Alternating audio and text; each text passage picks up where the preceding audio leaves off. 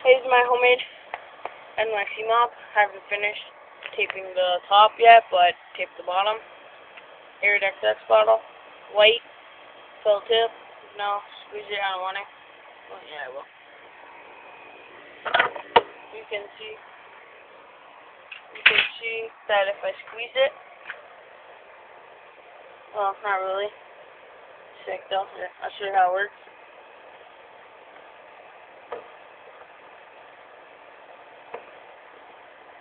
Pretty good, but the thing I'm I'm using is shit. But